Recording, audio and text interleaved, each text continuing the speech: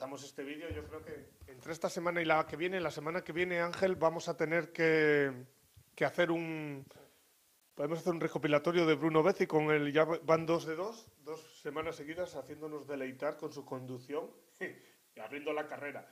Y estas imágenes pertenecen también a otra curva mítica de la subida lisa, donde gran parte de los aficionados eh, se agolpan. También es verdad que hacer una curva, una horquilla, también hay acceso a llegar a, llegar a, así decirlo, a, puntos altos.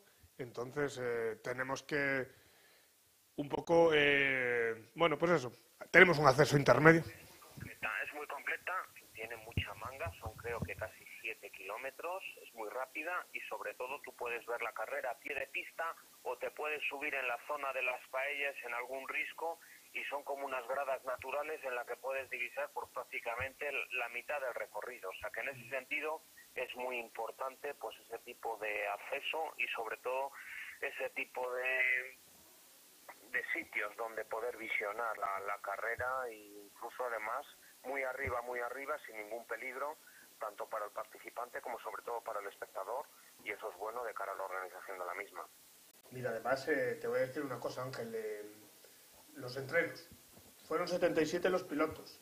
Que Gorka Palanza no fue el más rápido. El más rápido fue Víctor Abrán con su Osela con un tiempo de 3.52. Eh, día después estuvieron, sí que es verdad que estuvo Gorka Palanza, 3.55, 3.56, Alberto Alonso.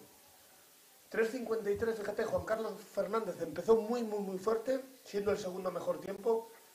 Luego tuvo también, fue el año también, tuvo un accidente en la última, en la segunda oficial y se quedó con el tiempo, salía por ellos, sin lugar a dudas. Pero además yo también la presencié un poco en esas vistas que tiene Alisas, un poco a lo lejos, y fue espectacular verlo desde, desde fuera o desde lejos, esa, esa salida también del, del CM. Y luego bueno, pues eh, un poco eso fue lo que fue a, primero, a grandes rasgos la primera, la primera manga de, entrenos.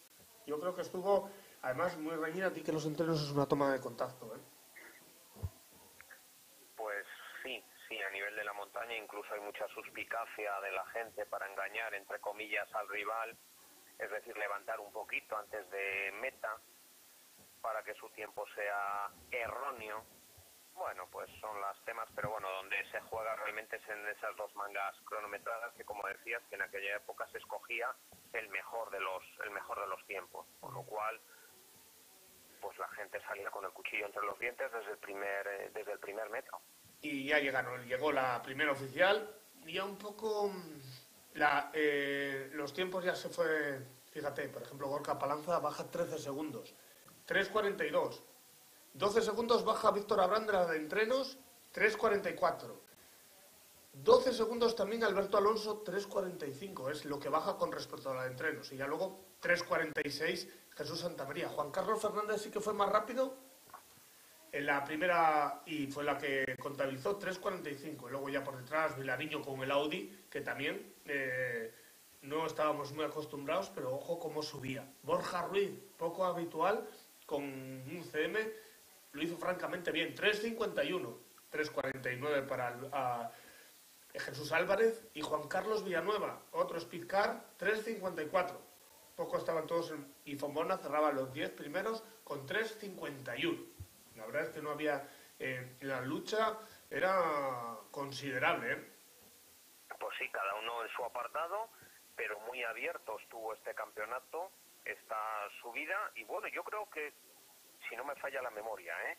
creo que al final, en el año 2006, el campeón de montaña que hacía, eh, compatibilizaba el nacional con el regional fue Juan Carlos Fernández, con aquel bango espectacular, como siempre, con los colores de Telefónica. Y luego, además, Nacho Cobo con su Sasso era el primero de los juniors. Sí, que es lo que te es lo que te decía que Nacho Cobo, un piloto no habitual de la montaña, pero yo creo que saldría aquí a esta prueba, aparte por el prestigio de la misma, pues para rodar. Igual que Eugenio Mantecón, igual que Pedro Subizarreta. Que era el segundo. Me llama la atención ahora mucho. Preparados para montaña. Eh, segundo junior era Pedro Subizarreta por aquel entonces. Y Marcos Diego, tercero Ángel de los juniors, fíjate.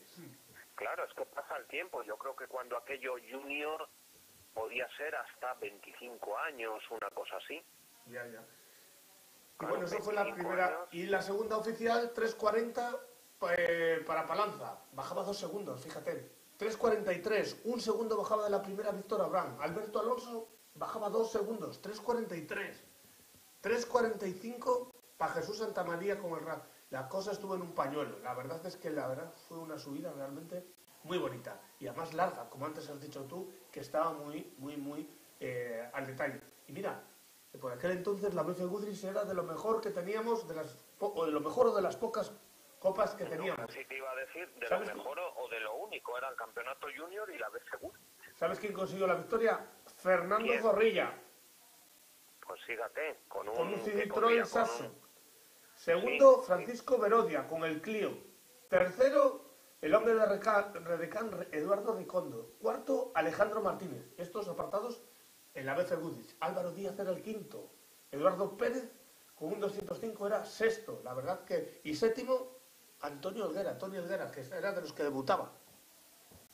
Pues sí, con un Citroën Saxo y hasta el año pasado estuvo también corriendo la Copa Saxo a nivel de los rallies. Pues nada, Ángel, ya va poquito a poquito... 2019. Poquito a poquito hemos ido viendo esta. Dime una cosa, ¿Rally Sprint de Parvallón del 2006 o Rally de Matienzo para la semana que viene? Como quieras. No, como elige quieras. tú hoy. Pues bueno, pues vamos a coger, por ejemplo, el Rally Sprint de, de Parvallón. Victoria de Pedro Zubizarreta. ¿Eh? Victoria de Pedro Zubizarreta. Pues victoria que yo fue, pues posiblemente, no te voy a decir si la única, pero evidentemente sería la primera, ¿no? Calla, que ganó en el Churi un año, que yo preparé un rally para que lo ganara él. Ah, pero, pero igual fue después de Zúmero. Vamos a ver. Y, Ángel, con y Alvarauto. buenos coches y buenos pilotos. Muchísimas gracias y vamos a ver con Alvarauto la clasificación de esta subida a lisas. Pues hasta la semana. Con aquel Mitsubishi Evo 10 naranja precioso, con Fito. Ujú. Eso fue la victoria.